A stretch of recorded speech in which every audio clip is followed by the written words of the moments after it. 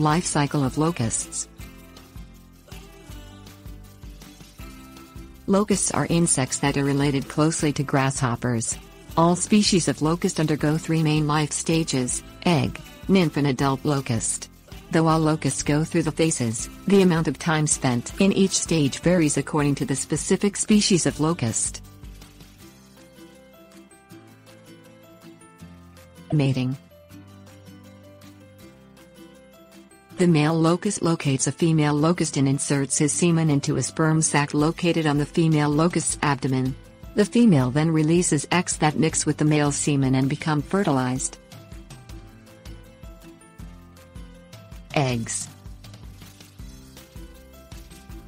Female locusts lay their eggs in the ground, most commonly in hard, firm soil.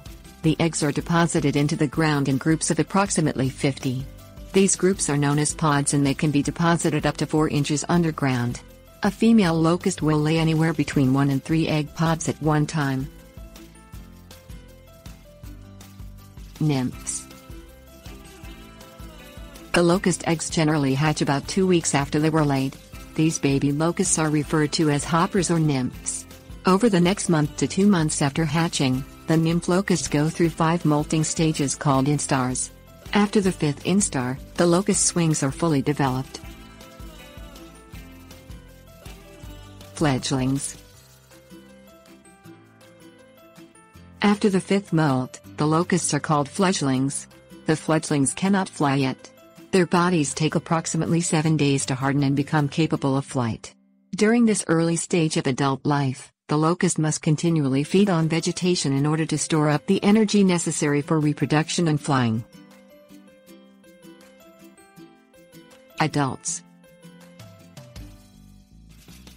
It takes approximately two weeks for the fledgling locust to reach sexual maturity.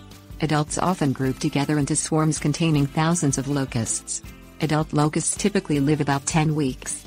During that time, they mate and the females lay eggs.